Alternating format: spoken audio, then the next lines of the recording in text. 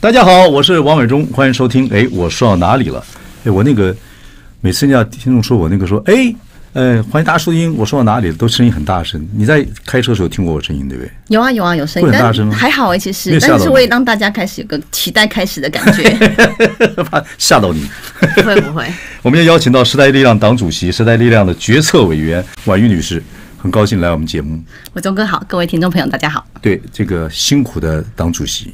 的确不容易，对对对对对，访问你的时候路上有地震，你知道吗？对，在开车没有什么感觉，你会害怕地震吗？会害怕，我对多多少少会啊，因为台湾其实本来就是地震带，然后加上之前我们的确经历过九二一啊，还有后来其实很多地震都会看到会造成一些些灾害，我想大家应该要有这个危机意识啦，但是不至于到害怕，OK，你现在很冷静，非常冷静。非常冷静。OK，说到这个时代力量啊，我们说这个整个的过程，你现在是两次做党主席了。对，对算是，当初也是家里有事情，然后开始从社会运动，后来时代力量对你很支持，然后你就因为这样子而进入政坛了。是那是二零二零年吧，二零一九，然后二零二零，二零一九二年，这样也是四年了。是没错，对，四年本来只是呃，好像回馈人家时代力量一样，哦，后来又当了立委，当了立委呢，然后在这过程里面退党退党，脱党的脱党，哦，这样的一些情况，你又当了党主席，是。然后今年选举呢成绩不佳，你就想说不要做了，要回到社会去做，好像要做什么学学校是吧？对，其实，在应该说从政之前，我原本就是我的孩子都是自学嘛，就是他并没有进入学校里面，所以我们其实就有一群家长和一群老师们、独立工作者，我们希望能够来办学，所以原本其实有在进行当中。那从政其实是人生的意外和斜杠，就是有这样的机会，觉得说，哎，如果我们真的可以进入到政治里面，用这样子的角色去推动更多的事情，对对好像应该要好好的把握和珍惜一下。对对对，就做了这么几年，我说有很多人离开这个党。是，啊，不是转党的就是退党的，有些文胆也会去做自己的脸书等等等嗯没错。等。然后你现在是党主席，现在又又经过这个二零二四选举并不理想哦。后来你本来想回去社会继续做你的那些学校还是什么东西，嗯，对，教育后来呢，然后又不又选到这党主席，又搬到一小办公室等等等等，对，很非辛苦哎常的辛苦啊，对。很辛苦哎。的确是非常辛苦的一件事情。对，那你现在怎么看时代力量呢？对一个党主席来讲，你慢慢讲，嗯你讲话速度蛮快的，哦，对我讲话速度一直都很快，还在继续努力当中。我都训练自己要说话慢一点。我怕你讲话就更快。你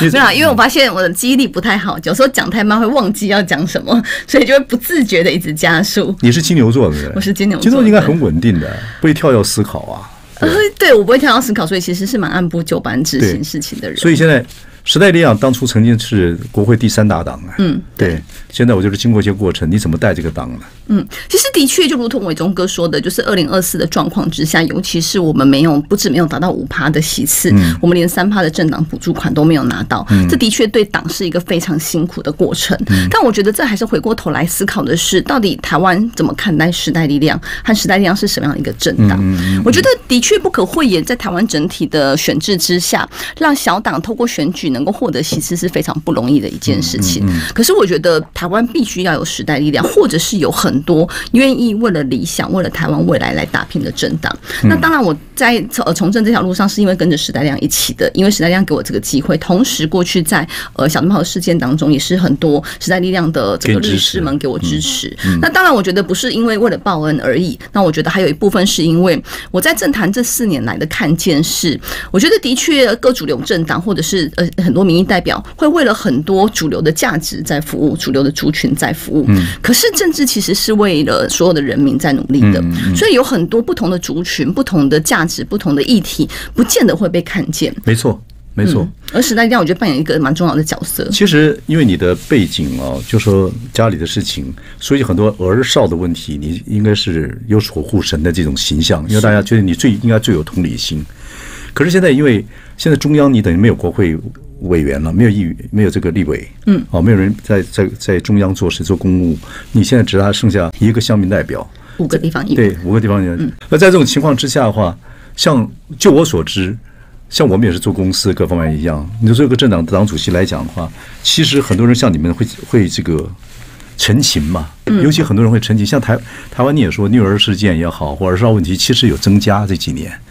所以你就从政这几年，你发觉还更严重了。但很多人向你们陈情，向我们陈情，你怎么在解决这个问题？当你手手上没有什么属于这种武器的时候怎么办呢？嗯，其实我觉得，呃，台湾很珍贵的就是说，人民的力量和社会力其实是很足够的。嗯，但是我们也的确看到说，在过去十年从三一八之后，其实整体的社会的力量其实是被分散，但是却没有被凝结起来的。嗯，但我们能不能再成为这个社会力凝聚的这个平台？我觉得是我们在这几年一直在努力在做的事情。嗯，就如同伟东哥刚才提到，过去我们在立法院因为有立委的角色，所以我们可以为人民发声。对对对。但今天我们即使没有了，我们还是应该来为这些族群发声。对，怎么做呢？是举例来说，像我们现在看到最近发生的，不论是这个呃呃虐事件，其实大家应该印象很深刻的就是凯凯的事件，或者是像性剥削的议题，其实都还是非常的严重。那也希望有更多人能够来看到，但不会演。我自己觉得，在这一届的立法院里面，大家会有情绪，会有质询，可是好像没有人能够做比较深刻的议题去爬书我们整个系统，我们整个政策哪里出了问题。那我觉得这就是时代力量的角色。时代力量是一群很执着在推动社会改革的人聚集而起来的。到现在还是有这样子基本精神在，是当然非常的清又有很多人新人新的年轻人说，两千年以后的哦，很多人入党嘛，对不对？这次虽然你们选选的不好，有很多人给你们鼓励，有很多人有跟你们说都内各方面来讲，对不对？你又看到一些希望吗？对，我觉得的确有一些希望，就如同刚刚伟忠哥提到，其实我在选完之后，的确有思考是我要不要继续留在政治圈。对，因为从政对我来说非常的不容易，尤其是像我们的角色，人身攻击是非常非常多，而且非常非常的恶毒的。对对对。所以那的确是一个非常大的压力。但我觉得回头来看，是在选完之后，对于我们的支持，好像不只是只有万喜而已，而是当立法院没有了时代力量，大家好像有点意识说，好像哪里怪怪的，很像很多重要的议题找不到人可以讨论，很多重要的事情找不多人可以来做。推动。那既然如此，我们就把我们会做的事情做得更好，而且做得更清楚。你们有没有时代力量？有没有？就是说，其实有。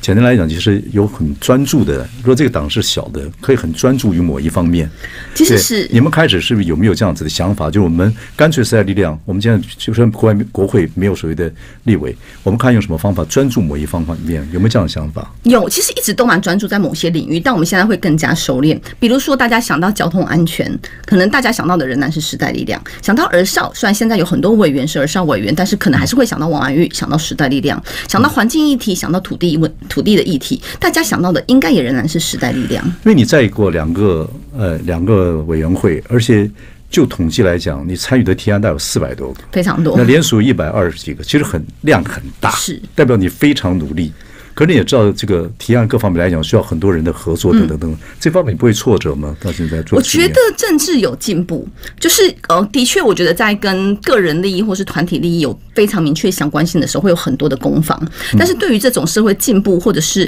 该改革的部分，反而我觉得空间是比较大的。嗯，比如说，大家一定不会反对有人来立法保护儿少。嗯，但是大家会不知道我到底可以做些什么，让儿少的保护能够更加的周全。嗯嗯。所以一旦我提出相关的法案的时候，其实跨党派不论哪个政党都会来支持我。所以刚才提到，我们不只是联署很多，我们不只是提案很多。其实这四年来，我推动的法案已经通过一百八十三个。对，光是这个数量都非常多。OK，那现在就是我说，实际上就是没有立法委员在国会里面，你们怎么做呢？会，所以我们会结合其他的政党吗？帮忙吗？我们没有直接去跟某个政党做连接，但是我们也希望能够凝聚这些呃 NGO 们或者是社会倡议的团体，我们很具体的提出来，我们认为政策应该怎么改，法规应该怎么改，透过这样的诉求，让立委或是让我们的政府能够听见，就是对象会是立委，又或者是政府，就是我们把这些东西提出来，让大家一起来跟一起来做。好，了解。在这段的最后，我问你，你会以后有很好的谁的一些议题，你会？会请黄国昌提理提提案蛮厉害的，蛮口才蛮好的。你会再需要他帮忙吗？我想只要是对的事情和重要的价值和政策，其实大家都非常欢迎大家一起来努力做重要的事情。就算黄就算黄国昌都都以前是你们是这个中国党主席，对时代力量的力量，现在后来脱党了，他去别的党，有机会你还是可以找他帮忙。当然，我觉得所有的委员我们都非常欢迎来一起推动，因为的确要推动一个法案或是要做社会进步，不会只靠一个委员或是只靠一个政党，其实需要不排斥他，就是当然不排斥。嗯，漂亮，一定要的，因为非常重要。好，我马上回来。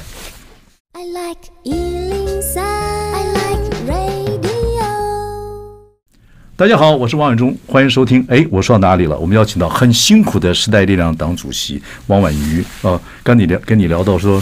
因为这次啊，整个选举不好失败，所以呢，几乎没有立委在。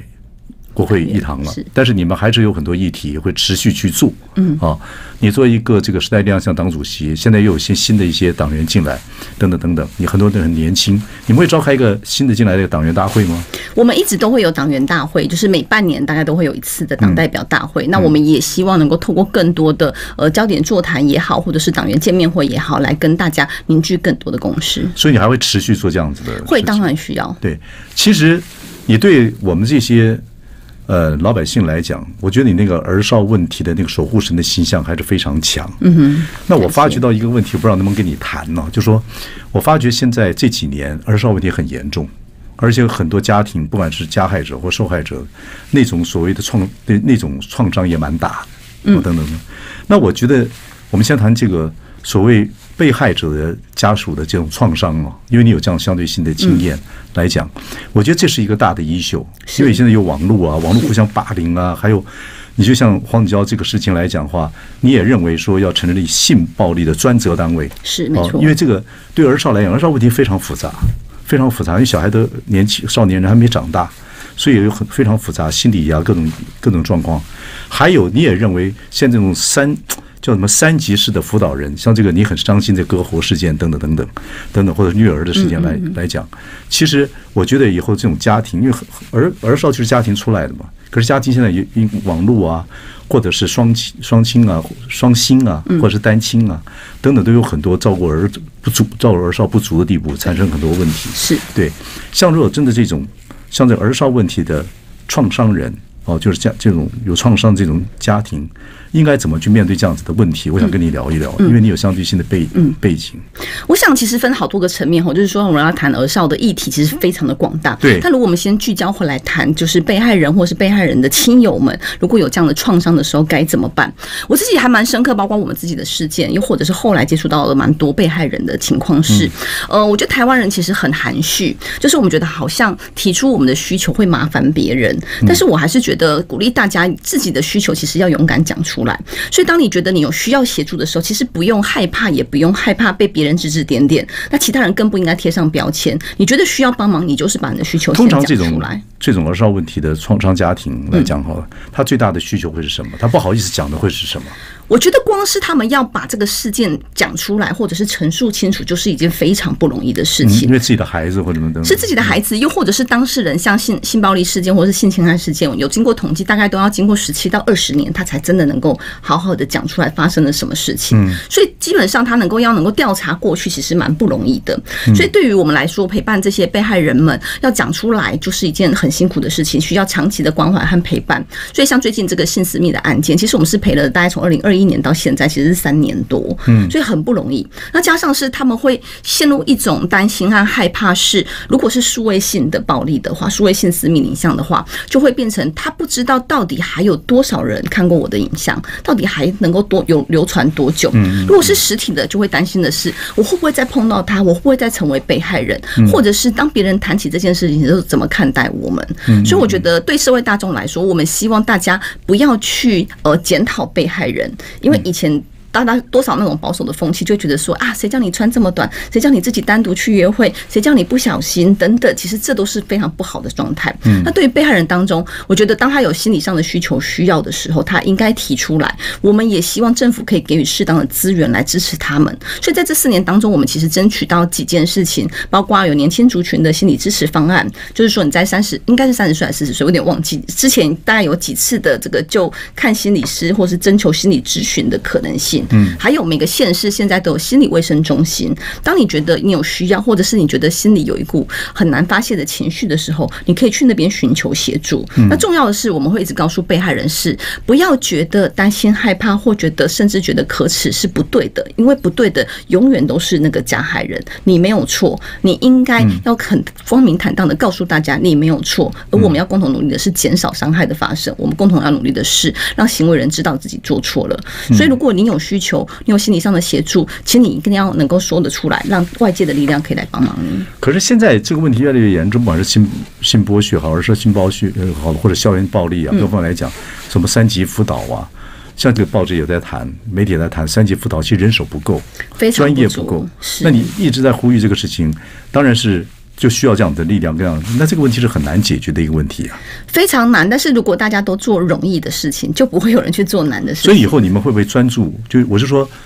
因为你现在是等于时代力量的时代力量党主席嘛，对不对？嗯。你们会不会在这方面更加更加强烈去提提供一些意见给政府或等等等等？其实我们一直都在做，对但会不会更加强烈做？我觉得当然会收敛在一些比较大的议题上面来做处理。但我觉得要让政府可以看见，老实讲，我觉得还蛮悲哀的，都要透过一次一次的悲剧或是一次一次的事件，对啊政府才会有感。对，嗯，那我觉得就是趁着这些社会事件发生的时候，我们更有责任去把整体的制度和整体的法律能够跟大家说清楚。这件事情是会做的。那我觉得这是时代力量以前做的比较不足，就是我们议题已经做得很深了，可是我们却没有把它转换成一个大家可能听得懂或是看得见的方式。嗯我们有一种相信或单纯，或者是说天真，就觉得我们认真做，大家一定会看见。可是实际上不然啊。我觉得现在媒体因为非常的发达，包括自媒体，包括新媒体。还有原本的传统媒体等等，其实会让很多的议题性或者是很多重要的事情不见得被看见。好，所以我觉得媒体也蛮重要的。在这个我们也是个小媒体了，嗯，但是我想在最后这个广告呃进来之前，我就跟你讲这个性儿少性剥削这件事情。是你认为两个专责的单位要出现，第一个专责就是这种数位性暴力的专责单位要出现，另外一个你希望能存在存在一个专责的一个机构，是能够对境外的网络啊要去交涉或者要去怎么样，因为很多他可能就是你你告诉他他就结束了，可是影片已经传到境外的网络了，你需要有点你认为说这种性剥削的事件。儿少性暴力应该要有两个专责专责机关，我觉得其实是同一个。同一个对，然后他处处理的不只是只有犯罪的样态的追踪和调查，嗯一个是刚才提到的呃台湾的部分的处理，或者是国外的处理，其实都是在于调查和追踪去嗯侦查的部分。那这个专责单位不只是只有调查和追踪，其实还包括如何来保护被害人。刚刚提到，其实这些被害人，因为他不是重大刑事案件，也不是重伤害的被害人，嗯所以国家的犯罪被害人的资源其实是没有到他们身上的。但是因为他们是在儿少被被被侵害到的这些人们，所以他的影响可能很深远，甚至会影响到他未来从儿童长成成人之后的这些整体的关系。嗯所以我们也觉得这应该是国家要给予包括心理资源的部分的协助。那同时，我也觉得这个单位也有必要的是，呃，能够逐渐跟上数位暴力的变形，因为像数位性剥削的这件事，数位性侵害的这件事情，其实老实讲，我们这几年看到的是它其实转变的很快，变形的很快。对对对所以我觉得专责单位有必要去道增高一尺魔。高一丈。是，所以他需要他能够让自己能够跟得上这样子的数位节奏。嗯嗯好，我们休息一下，马上回来。I like Ealing Sound. I like radio. 大家好，我是王伟忠，欢迎收听。哎，我说到哪里了？我们邀请到时代力量的党主席王婉瑜。我想，我们刚刚谈到了，就是说，因为时代的变化，那儿少问题，我就跟今天我们谈一下儿少问题，就是儿少这个暴力问题，儿少的这种所谓的数位性犯罪的问题啊，受虐儿童啊，各方面的问题很多很多，自然会出现一些所谓的创伤家庭。那创伤家庭，这个被害人的创伤家庭，我觉得其实家人面对这个孩子创伤的这个过程之中，家庭里面的成员应该有一个态度。可是这个态度有时候会让家人互相吵架，意见不合啊，弄得家庭环境就说你就是你没管好，或者说你为什么穿那么少出去啊？这是性方面。另外一方面就是说你不注意安全，你为什么这个等等等等，家里会先不和，面对这个问题，而且如果被害人真的这个这个被害人受伤很重，或者甚至死亡的话，在家里会更产生问题，因为其实你有相对性的经验，所以大家认为你是就同理心更强。所以我想问你说，这方面的话有没有就做某方面努力呢？创伤家庭应该你应该跟他们讲一些说，家庭应该怎么去面对这样的创创这对这这样的创伤的过程。嗯，老实讲，我觉得这是非常不容易的一件事情。即便是我们经过了这么多年，我们也还在持续努力当中。嗯，所以这个影响是非常深远的，也是超乎我自己当初所想象的。其实我们事件到现在已经八年了，但是我们整体你说我就是包括你跟家人、跟家人还有小孩、先生小孩，其实到现在还在努力做这个事情，也都还在努力当中。所以我觉得他没有办法一下就告诉大家说你可以怎么就可以克服这件事情。你的经验，或者说这个是个非常不好的经验，但是已经面面对了。你认你的现在有点心得是什么？我自己觉得我们要能够理解每一个人都是独特的个体，所以每一个人面对创伤的做法，或是对悲剧对面对悲悲剧的发生之后，能够。妥协的方式其实是不一样的。所以我觉得不不要去期待他可以怎么样复原，而是就是全力的支持。因为像我们家里面，其实每一个人面对创伤或是面对这件事情的态度和做法都不相同。但我们理解到说，哦，你这样做原来就是希望你能够照顾好自己。对所以我都。那不听说所以我都会告诉家属说，其实不要想太多，就是给予全力的支持和全力的陪伴，不要太有期待，说他应该什么时候可以变得坚强，他为什么不能像谁一样变这么这么努力？因为我那个小灯泡事件的时候，事后你丈夫比较愿意跟大家分享经验，可是你那个时候就是基本上是不能用这个方法，因为你每每一次都是痛苦。是，那你们夫妻之间会为这个事情怎么去经过的？怎么去经历这个事情呢？我们其实一开始会期待大家能够团结一致，或是一心来努力，但后来也能够理解到说，其实每个人面对伤痛的方式不一样。就如同伟忠哥所观察到的，没有错。像我先生，他就会比较希望去接触，后来这几年其实他会愿意去接触其他被害人的家属，觉得可以互相支持。但对我来说，我就觉得去面对这些事情其实是辛苦的，我反而就是投入到公共议题上面，希望能够减少辛苦的发生。所以像一开始，比如说光是我们要不要去山上看小灯泡这件事情，就是每年祭前就是清明节或者是他生日前，后是差不多的时候，其实一开始就会觉得应该要全家去啊，因为他是我们家的一份子。但是像我们家的姐姐，她就是非常不愿意，她就觉得去不去她就不会伤心，去了她就会伤心。当然后来我觉得她愿意讲出来，我们也愿意尊重她，因为一开始的确会期待说，哎，应该是全家一起去关心这个曾经是我们家人，现在应该也是我们家人的妹妹这样子，所以一开始就会觉得说，你为什么不去？你是不是不在乎？但我觉得有这样子的误会吗？我觉得会有一点点这样子的心情，但是因为他毕竟是小孩，我们其实是可以接受。那后来我也透过好好的去聊这件事情，他愿意讲出来说，他觉得去了反而会让他陷入这样的情绪当中，他很难照顾好自己。嗯所以后来我们也理解说，哦，真的是每个孩子或是每一个人面对情绪的方式、面对事情的方式其实是不一样的。嗯所以我后来都会告诉很多被害人的家属是，呃，不要一直去期待说，诶，另外一半应该跟我一样用这种态度来面对。嗯但是因为每个人其实是不同的个体，那应该是要尊重他，给他适度的空间，只要不违法，只要不伤害彼此的情况下，其实就让他用他自己的方式去疗伤。你们那个时候有请求外界的帮助吗？我们就是相对幸运的是，因为我们是重大事件，就是社会瞩目案件，所以国家给予我们的协助是相对多的，嗯包括孩子的心理辅导，包括我的心理辅导，还有我们自己的亲友支持团是很强的。嗯这就是回到前面是，我觉得的确应该要有这样子的支持。那举个例子，为什么我告诉大家说，当你觉得有需要，其实不用不好意思，应该勇于开口。当时我们其实，在事件发生之后，我很清楚我没有心力照顾我的小的孩子们，因为小的孩子那时候才两岁而已。然后我的亲友就我的朋友们，他们就很愿意说，哎、那我不到家里帮你照顾小孩。但我的爸妈就会觉得说啊，我们应该可以啦，不要麻烦别人，总会觉得麻烦别人很不好意思。可是我就觉得我们自己已经这么辛苦了，我还是希望孩子能够有稳定的生活，所以我就我就拒绝了我爸妈的建议，然后让我的亲朋友们来我们家里。所以当时我们家算是支持很强大的，就是我的朋友他们会照三餐轮流来陪伴我的小孩，煮饭给我的孩子吃饭等等。那我后来事后来看，我觉得这段日子的稳定其实蛮重要的，因为的确我们大人还有我们自己都在一种完全不知道怎么生活，而且充满恐惧的状态当中。其实你是真的没有办法好好的去照顾孩子的生活需求的。所以我会提到是，如果我觉得被害人的家属，如果你觉得你有需要，不论是心理上的、生活上的，甚至是经济上的，我觉得都不要害羞，也不要觉得不好意思，应该向大众伸出，就是伸出援手，是对，希望能够这样子。是告诉大家说我需要帮忙，请大家来帮忙我。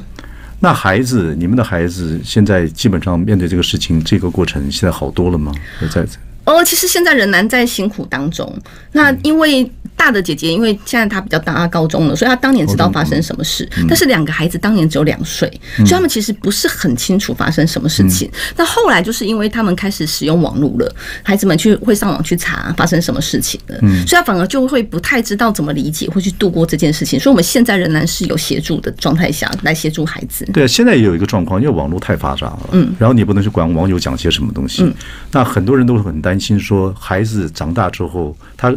很多状况了哈，甚至孩子有可能也是某些社会事件里面的亲属，他小时候不知道，长大都会看到，是。甚至甚至一种创伤，大的创伤、小的创伤，小的创伤甚至父母可能离异，或者是这等等的状况。呃或者是也在自己的新闻上看到，我们的圈子有很多这样的状况，这个时候。那他在网络上看到，又怎么跟他解释这个事情？像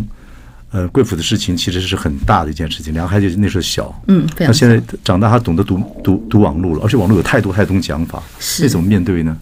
对家长来说，我觉得最好的做法就是好好的告诉孩子发生什么事情，但是可以不要用这么刺激的形容词，这么激烈的形容词，就是好好跟他说，的确就发生了这个问题。但是如何能够回复到原本的生活是心理状态，我认为寻求专业的协助是有必要的。是你很多场合在强调说，媒体对儿少，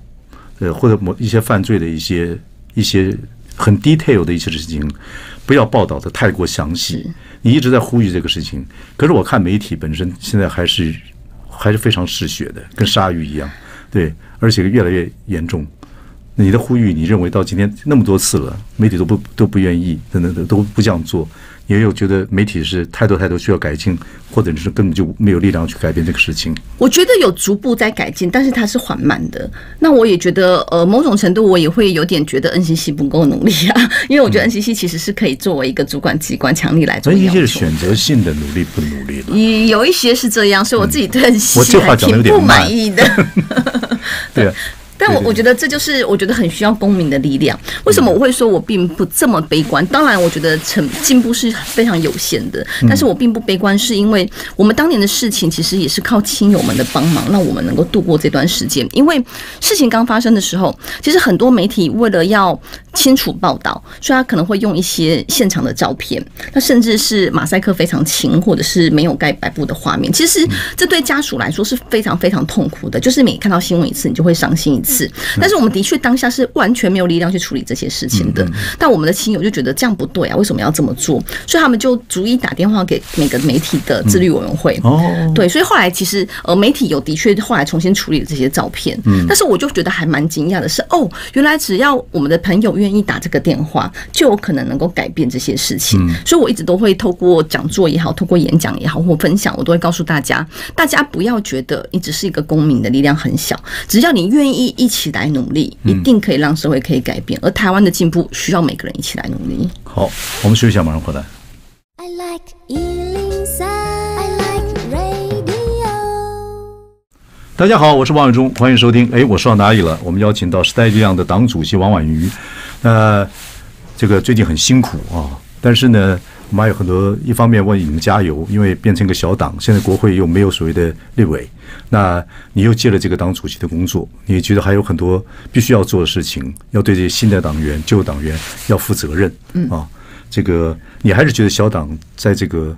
整个在台湾还是非常重要的一个力量。非常重要，而且我觉得是不可或缺的一股力量。可是你看，民众党现在从变成它取代时代力量变成第三大党，可是他的地方选举还是这次也等于全军覆没，所以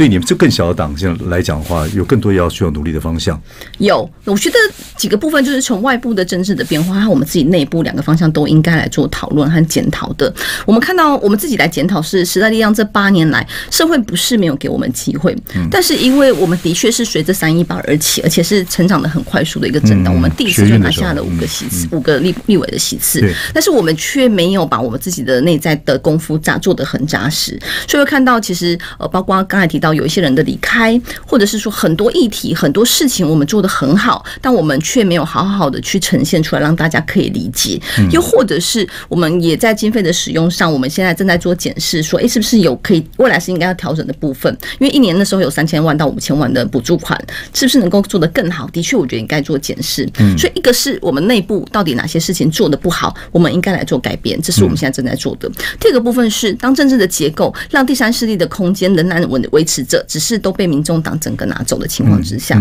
我们能不能继续能够让大家看见时代力量的价值和时代力量的重要性？我觉得这是我们刻不容缓应该要做的事情。了解，那我们就看看时代力量在你的领导之下怎么去走。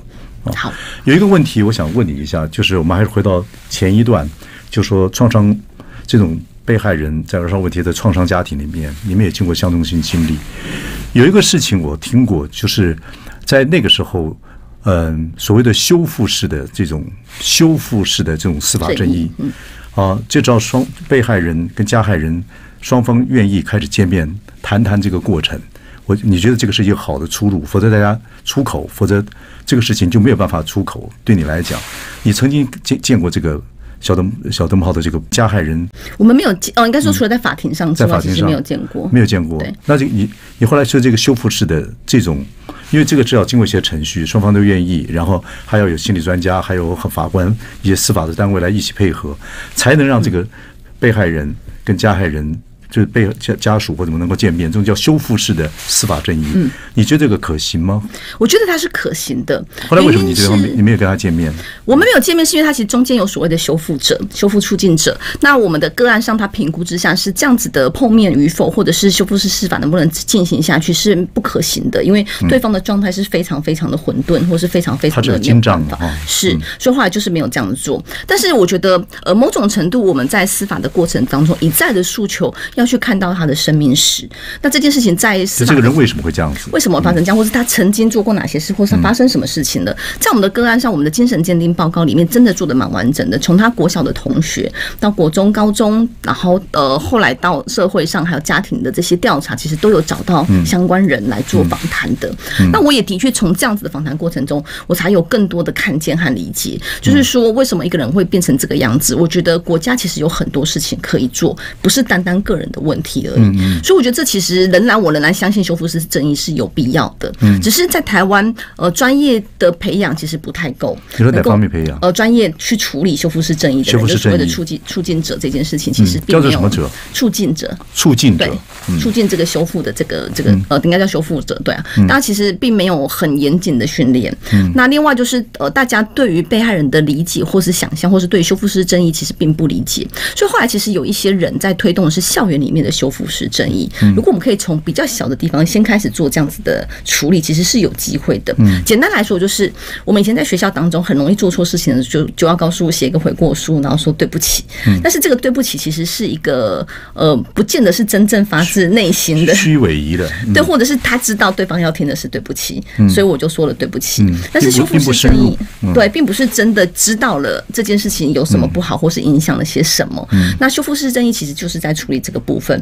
让所有的人，包含当事人、两位当事人好了，或者是他周遭的人，能够真正理解这件事情是什么，包括对于对方的情绪的影响，对于对方的伤害，还有为什么自己会做这件事情，他也要有一定的理解，才会知道我未来怎么改变。不然我就说对不起之后，我的本身的状态或是本身的理解没有改变，他有可能会一再而再的继续发生，然后继续说对不起。就那个严格讲起来，那个病源，这个社会或这个事件的病源，其实并没有找到。是对，只是这样子，就为了加快、赶快破案或赶赶快定刑，就就这样去做了，嗯，对。是会这个这个状态。我觉得会有，所以我觉得师傅修复式正义，不论是在校园当中，从这个孩童之间的纠纷，或者是老师跟学生之间的这些不当对待或是处理，或者是到真正进入到司法案件里面的修复式司法，我都很希望可以继续来推。这个事情是我，嗯，我也喜欢研究社会议题里面，我最近看到这个修复式正义，这个在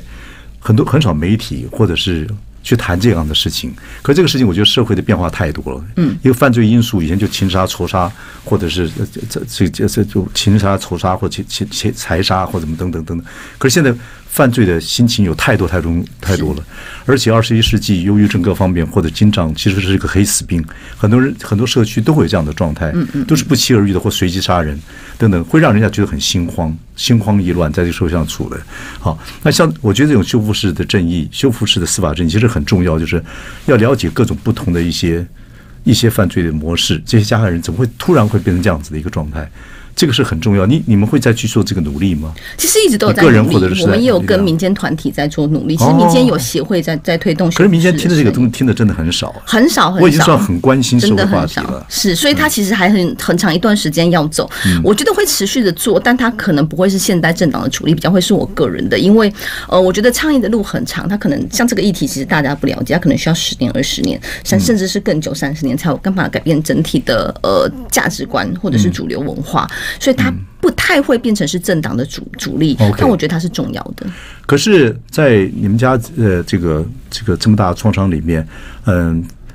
你说其实这种虽然这个修修复式的司法正义并没有完全，你也不是没完完没有完全做到，但是当初在司法的过程之中，法官所有爬书加害人整个的犯罪情况跟他的背景，对你的心情或各方面来讲是有某方面的这个这叫什么疏解，或者是有一方面的出路。是，我觉得是有知道为什么会变成这样子，但是呃，我觉得这也是就是也是透过这样的看见，我就觉得有时候蛮悲哀的，就是呃，我们其实没有办法选择我们生在什么样的家庭，但是有时候的确很多人会犯下犯罪事件，不是帮他们解释，而是的确会有种种的因素之下而导致他们发生这样子的这样子的作为的。那这是每个环节的疏漏，或是每个环节都没有人可以把它接接住，所以导致这样子的遗憾的发生。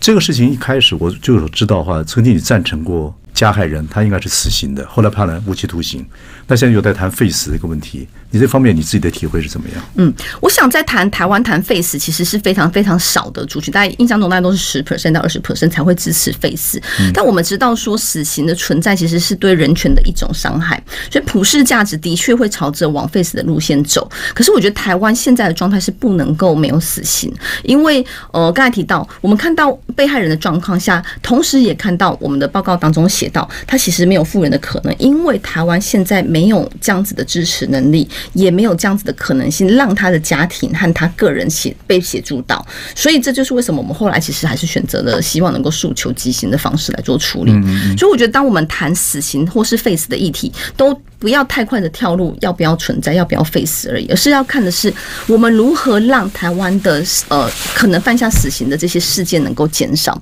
包括刚才提到的被害人的协助，我们能不能多做一些？包括精神障碍者的协助，我们能不能多做一些？包括儿少的部分，家庭亲子的家长怎么样来照顾孩子、教养孩子的部分，能不能给他们更多的能力？我们不要养成这样子的人，我们就有可能再去谈这个对，要去找那个根源。你现在讲这个东西太为为期太早，还没社会还没到这个地步。是前面而且社会变化很大，现在而且台湾的儿少问题还有增加之趋势。就是越来小孩越来越辛苦，家长越来越辛苦，所以很多人都不敢生，是真的。好，这是另外一个 issue，我们回来之后再聊。来，I like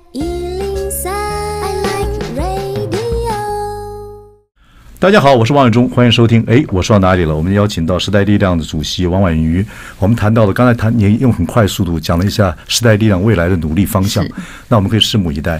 我对你另外一个 issue 我觉得很有意思，这是几年前的一个文章，就是说你看了一个一本书，讲双薪家庭的一个过程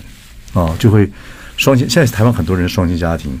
呃，你跟你丈夫当初也是双亲家庭。那双亲家庭有几个过程？第一个过程可能就生完孩子的一个忙碌期，再来就是一个所谓的一个再回到职场上啊，然后会有一个中年危机的时期，再来这个空窗期。所以很多因为双亲家庭一起工作的时候，好可能在家里面会产生一些状况等等一些冲突的一些状况。这个这个状况，你觉得你就了解了说，可能也会造成对儿少的不照顾，呃，照顾不周啊，或者是整个社会环境发掘不不全。可双薪家庭的确在未来就是主流了，你的看法怎么样？所以时代力量有蛮大一个主轴在谈的就是所谓分配不正义或是世代不正义。分配不正义，对，因为台湾可以看得到，数据上也显示出来，就是我们的贫富差距是越来越大、越来越大的。那包括受薪阶级所占的国民所得是非常低的，意思就是说，我们的财富掌握在少数的资本家的手上，这个比例和这个数据上都是有这样的呈现。所以让劳工觉得好像工作的时间越来越长，但是薪水却没有变，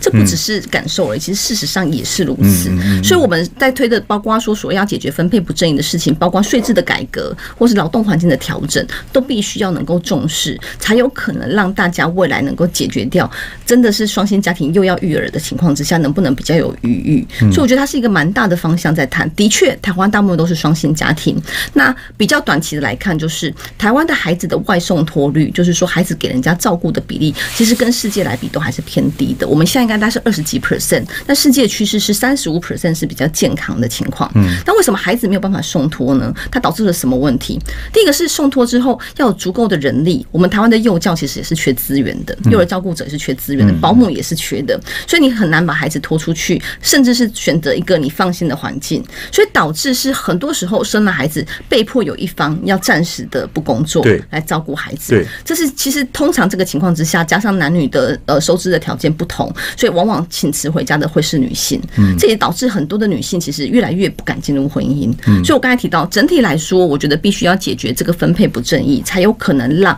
我们的双薪家庭仍然有比较。健康的工时，或是比较健康的收入，能够生养小孩。那短期来说，我们一直在推的是，能不能让我们的幼教是能够被更被支持的，有更多人愿意投入这个产业当中。嗯嗯嗯，OK。那哎，你这个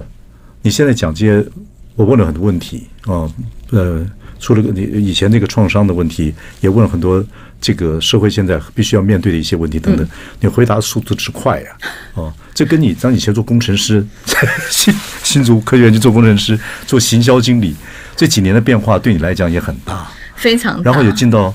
政治这个领域里面来，是哦，真正在立法院院院做委员做了四年，嗯，哦，参加参加这个时代力量，从二零一一九到现在也有五六年的时间，哦，变化非常大。本来你想就是这次没没有选好，也想离开了，可是又回来做党主席，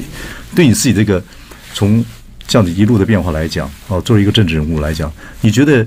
你的选择是正确的吗？到政治圈来帮忙，就帮把把这些以前做的社会公益啊等等事情等等来做这些事情是对的吗？我的个性大概不会去想它是对或不对，而是想这件事情你是不是快乐的，是是不是在乎的。我觉得这比较重要，因为对或不对，其实老实讲，我觉得它就是另另外一种二元价值的呈现。就是放长一点看了是，我就觉得哦至少我在这个过程当中，我觉得是值得的。我真的推动了一些我在乎的事情的，嗯通过一些法案是，嗯然后我也很珍惜有这样的机会，因为这样的机会不是每个人都有的。虽然其实是我们因为经历了伤痛的过程才得到的，了解但是这个过程并不是每个人都能够拥有的。所以既然我有这样的机会，我就珍惜这个机会。而且在这四年当中，我们真的推动了，也协助到的很多人。我觉得这个过程是让我觉得值得和快乐，所以我觉得它是值得的。但是对或错就很难去评估。对，了解，对啊，我这个问题也也是不能用二元说对跟错，对，就是真你认为是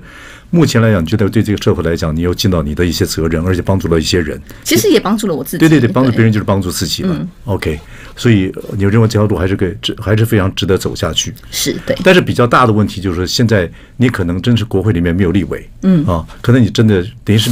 没有刀的将军嘛，嗯啊。哦，这个资源那资源那么少，这又是一个不太好走的路哦。的确啊，所以很希望大家能够持续关注时代力量，也跟我们一起把这些重要的事情，不论是不是有立委在执行，但是如果觉得跟你的生活有关系的，能够一起来思考，一起来努力。嗯，OK。那我们今天也访问了时代力量的主席，代表我们也是一个小媒体，但是我们也也尽量公平。感谢感谢，希望可以给我们更多的机会，让大家看见。好，谢谢，谢谢谢，谢伟忠哥，谢谢大嗯家。